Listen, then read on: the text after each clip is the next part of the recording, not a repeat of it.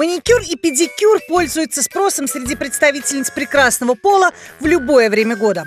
Это прибыльный бизнес, однако и здесь есть свои нюансы. В целом же открыть маникюрный салон с нуля при правильном подходе и продуманном бизнес-плане под силу любому начинающему предпринимателю. В программе «Малый бизнес. Большие успехи» подробно, как стать успешным в этом сегменте.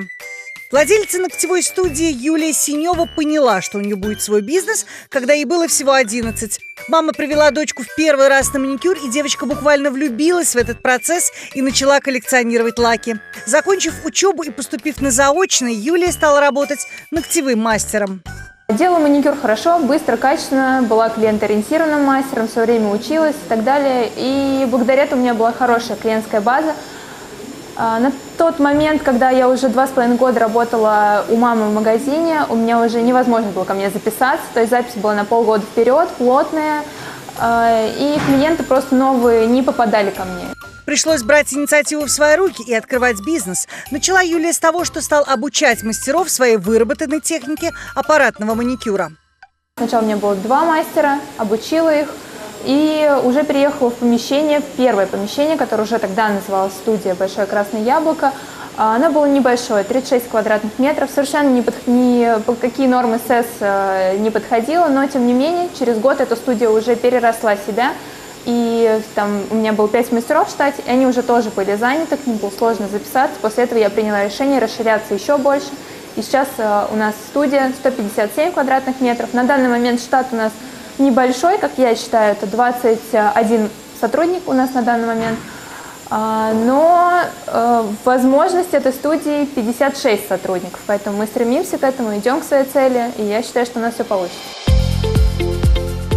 Юлия Синева, открывая свой бизнес, стремилась как к профессиональному росту, так и к прибыли. Об этом говорит открыто, не стесняясь, а зачем тогда открывать свое дело, если не хочешь заработать? Так как я была хорошим мастером, мне просто уже некуда было расти. А мне тогда был 21 год, когда я открыла свою студию, и э, хотелось большего, хотелось больше зарабатывать, э, и таким образом приняла решение. Вот, желание заработать. Работая ногтевым мастером, девушка деньги не тратила, вкладывала только в развитие и рост своего предприятия. Признается, что была поддержка от родных. Небольшими шагами, но движение только вперед. Как мне многие говорят, а почему там у тебя уже не 5 студий за 3 года? Ну, потому что мы делаем все на свои деньги, мы э, развиваемся потихоньку. Но, тем не менее, с каждым месяцем у нас показатели все лучше, лучше, ну, немного, но мы растем. Студия «Большое красное яблоко» абсолютно не похожа на все, которые есть в Самаре. Здесь не удастся быстренько забежать на процедуру и после убежать в поток трудовых будней и бытовых дел. Все, что вы видите, это я сама придумала. А, из-за этого, на самом деле, я набила себе очень много шишек, например, там вот кресла, которые мы сейчас продаем, потому что оказалось, что они красивые, дорогие, но для маникюра они не так удобны. Вот можете посмотреть, что у нас гость сидит на обыкновенном стуле. Здесь вас непременно устроит в уютном кресле, предложит свежесваренный кофе или чай. Предложит на выбор более чем 250 оттенков гель-лаков, коллекция которых постоянно пополняется в соответствии с последними трендами и из 200 материалов для создания самых смелых и оригинальных дизайнов. Цена э, за маникюр средняя это где-то 1300 по Самаре. Э, у нас э, минимум 1430 рублей стоит маникюр плюс гель-лак у мастера. Да, чуть выше среднего, но мы знаем, за что мы просим такой стоимость. У нас есть сервис, у нас есть качество, у нас э, повышение квалификации у всех мастеров э, стабильно, э, хорошие материалы дорогие, не дешевые, не Китай, которые не вредят здоровью нашим гостям. Работает в студии только на стерильных инструментах, новом оборудовании, качественных материалах, и поэтому смело заявляют, я хочу э, классную команду мастеров. Я понимала, что хорошие мастера будут хотеть только на дорогом, хорошем оборудовании работать. И поэтому мы всегда покупали самое лучшее. В конкурентной борьбе с полнопрофильными салонами побеждают специализированные студии. Мастер маникюра гораздо лучше разбирается в тонкостях и новшествах своего дела, нежели специалист широкого профиля. Но опыт приобретается не за один месяц и даже год. И чтобы заработать свою базу, нужно хорошенько потрудиться.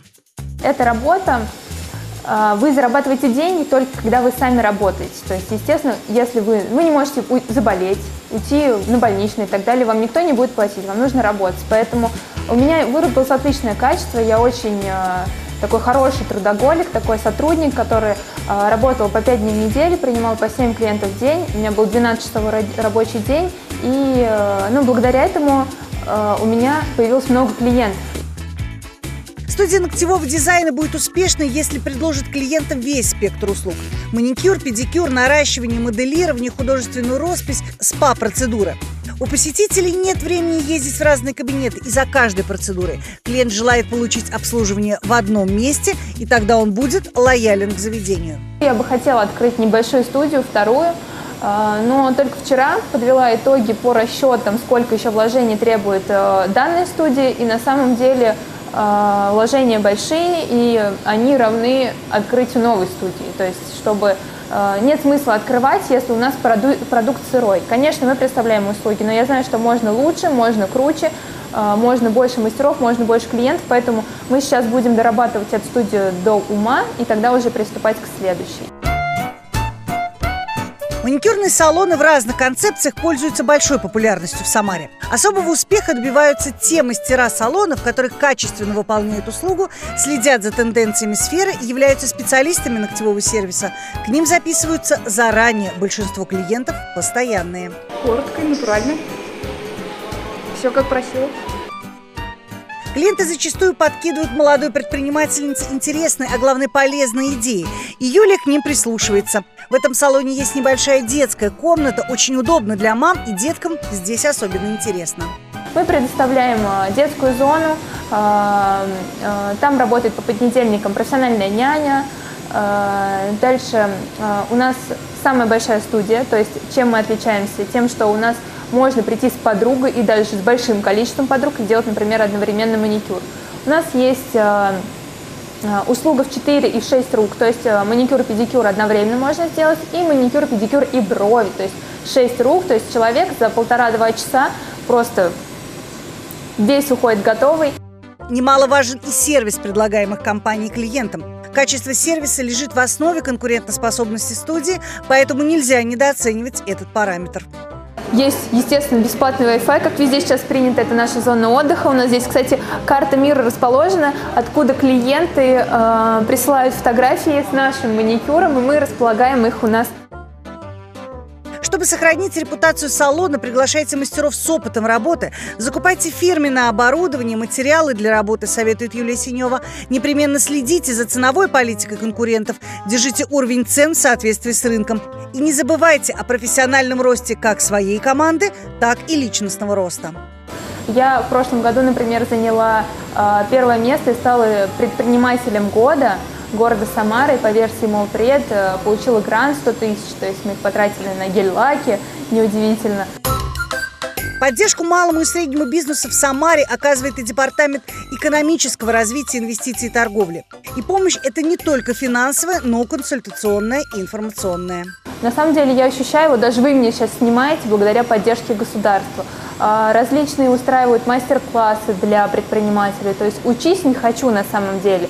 Если ты хочешь, э, то ты э, научишься, и государство дает поддержку. Сфера услуг, э, она такая наиболее интересная, наиболее щепетильная в подходах именно поддержки, потому что это услуги, это восприятие человека, это качество предоставления услуг. Конечно, в рамках именно сервисных услуг мы большое внимание уделяем все-таки именно на стадии обучения этих предпринимателей. То есть одно дело, когда они уже обслуживают людей, а другое дело, чтобы они понимали, знали, владели навыками вообще качественного предоставления услуг, владели навыками общения со своим потребителем, владели навыками продвижения себя в социальных сетях и вообще работе с аудиторией, потому что все равно рынок услуг, он достаточно высококонкурентный, и, конечно, от качества предоставления услуг, от позиционирования себя на рынке очень многое зависит.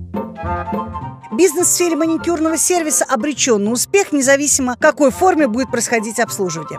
Чтобы привлечь стабильный поток клиентов, нужно просто хорошо выполнять свою работу.